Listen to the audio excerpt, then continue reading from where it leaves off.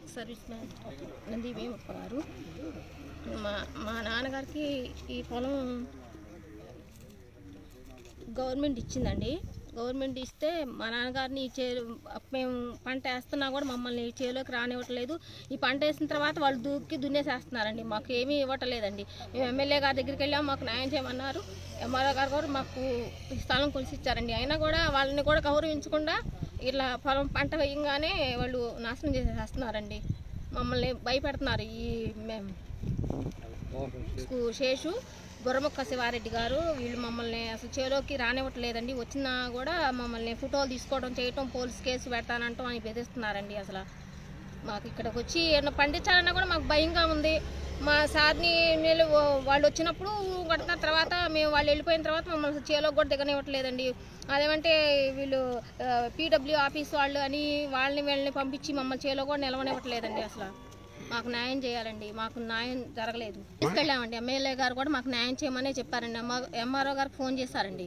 MRO గారు కూడా మాకు న్యాయం చేశారండి. వచ్చి మాకు కొలతలు కొలిసి ఇచ్చారండి. అయినా కూడా వాళ్ళని కూడా గౌరవించకుండా ఈ పోకల బాపయ్య వాళ్ళు బుర్రమొక్క శివారెడ్డి గారు నైట్కు నైట్ మేము వచ్చి ఇత్తనాలు పెట్టించిన తర్వాత దున్నేసేసారండి.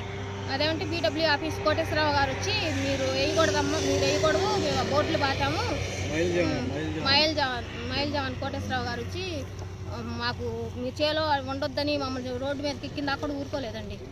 మమ్మల్ని పంపించిన పైనుంచి ఆర్డర్స్ వచ్చినాయి మీ చేలో దిగడానికి లేదు. మీరు వచ్చి ఎవరు మాట్లాడతారో మాట్లాడుకోండి అని చెప్పారండి. మేము మా సార్ గారిని వివేకానంద సార్ గారిని మాట్లాడమని చెప్పామండి. మా ఈ బాధ చూసి మాకు సహాయం చేయడానికి వచ్చారండి తోటి అందరూ మాజీ సైనికులందరూ. మా మామయ్య గారి భీమప్ప గారు. రెండు వేల తొంభై ఏళ్ళు మ్యారేజ్ అయిందండి. ఈ అమ్మాయి పుట్టినప్పుడు ఈ స్థలం ఆయనకి ఇచ్చారండి. అప్పటి నుంచి కూడా మేము వీళ్ళు వస్తాం రాళ్ళు బాతడం పీకేయటం ఆకడేయటం ఇట్లా మమ్మల్ని షేళ్ళలో రానియట్లేదండి వీళ్ళని సరే కోర్టుకి వెళ్ళి పదకొండు మంది పోరాడారు. ఈయన ఒక్కడే పోరాడుతున్నాడండి. అయినా ఈయనకి ఈ మధ్య జబ్బు చేసి చనిపోయినప్పుడు మాకు మాకు లాయర్ గారు కనుక్కుంటే మీదేనమ్మా భూమి మీకు వచ్చింది. మీరు సేలోకి వెళ్ళండి మిమ్మల్ని ఎవరేమనరని ఈయన చెప్తే మేము వచ్చామండి. వచ్చినప్పుడు కూడా మేము వస్తున్నాం.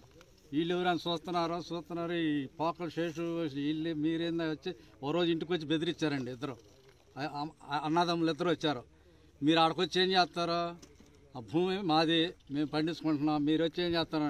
మేము అనువాసి తెచ్చుకుంటాం అని అది అని ఏదో చెప్పామండి మేము. ఆ తర్వాత ఏం చేశాడు మేము వచ్చామండి. వచ్చినప్పుడు లెక్క చేయట్లే అసలు. దున్నిచ్చినా కానీ వాళ్ళు మమ్మల్ని ఇక్కడ పంట కూడా వేయనట్లేదు వేయబడి మేము గుంటూరు ఆఫీస్కి వెళ్ళామండి. హెడ్ ఆఫీస్కి వెళ్తే పక్కన గురించి బాధపడుతుంది వివేకానంద రెడ్డి గారు పాపం కనపడితే ఏందమ్మా అని వచ్చాడు.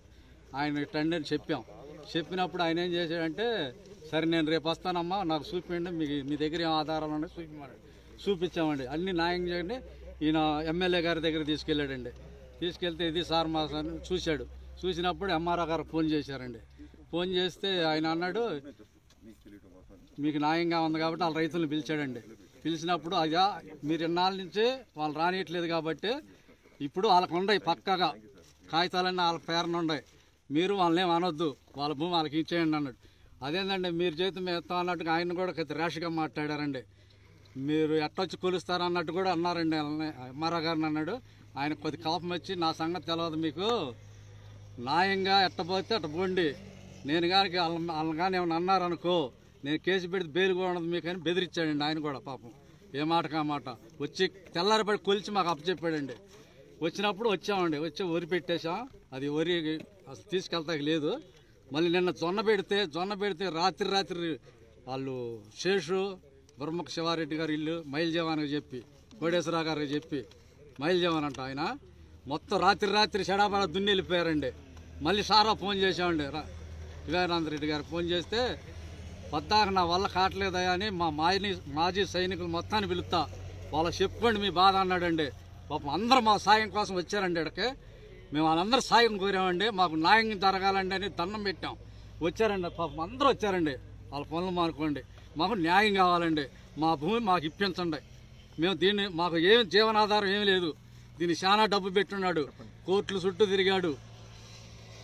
గెలిచినా కానీ వీళ్ళు రానియట్లేదండి. మాకు న్యాయం ఆడుంది ఇప్పుడు ఆయన ఏదో పాపం ఏడో సల్లో తిరిగి మన దేశాన్ని కాపాడిన మడిచి ఆయన ఆయనకు మీరు గౌరవం ఇట్లా అసలు. డిపార్ట్మెంట్లలో మోసం చేస్తున్నారు. లంచాలు తీసుకొని. ఇంకా ఏడ న్యాయం జరిగిద్దండి? ఒక మిలిటరీ మ్యాన్కి న్యాయం లేదా అసలు? మన దేశాన్ని కాపాడిన సైనికుడు న్యాయం లేదా? ఎక్కడ ఉంటున్నామండి అసలు మనం? అసలు అన్నం తింటున్నాం ఏం తింటున్నాం అసలు? మా భూమి మాకెత్తాకి ఒక్కొక్కరు ఆరు వందలు ఐదు వందలు కోట్లు ఉండే ఒక్కొక్కరికి ఏం చేసుకుంటారండి? పోతా పోతా కోటి ఎత్తుకెళ్తారు ఇల్లు. మేము పండించుకొని తింటామంటే కూడా మమ్మల్ని రానిపోతే ఎక్కడి వరకు న్యాయం అండి? అందుకని మా మాజీ సైనికులు మొత్తం దండం పెట్టి కోరామండి. వచ్చారు పాపం దేవుళ్ళల్లో వచ్చారు. మాకు న్యాయం చేస్తాం అంటున్నారండి మీరు చేయాలి. మీ టీవీ వాళ్ళకు దండం అందరికీ దండం పెడుతున్నామండి. నమస్కారం అండి. ఆ పొలం నాకు రావాలండి. మా ఆయన గారు పొలం ఎన్నాళ్ళ నుంచో చేశారు. మాకు ఇంట్లో ఏమీ లేవు డబ్బులు కూడా లేవు మా దగ్గర ఏం పెట్టడానికి కూడా. మా- పొలం మాకు కావాలి. మాకు న్యాయం చేయండి అందరు కలిసి మీరు అందరు కలిసి. జై జవాన్! జై కిసాన్! జై జవాన్! జై కిసాన్! జై కిసాన్! జై జవాన్! జై కిసాన్! జై జవాన్! జై కిసాన్! జై జవాన్! ఇరిగేషన్ అక్రమార్కుల్ని వీధి రౌడీలాగా ప్రవర్తించి ఆ, రాత్రికి రాత్రే పొలం దున్నిన ఇరిగేషన్ అధికారుల్ని అక్రమ కట్టడాలు అక్రమ కట్టడాలు కూల్చాలి అక్రమ కట్టడాలు కూల్చాలి We want justice. We want justice. We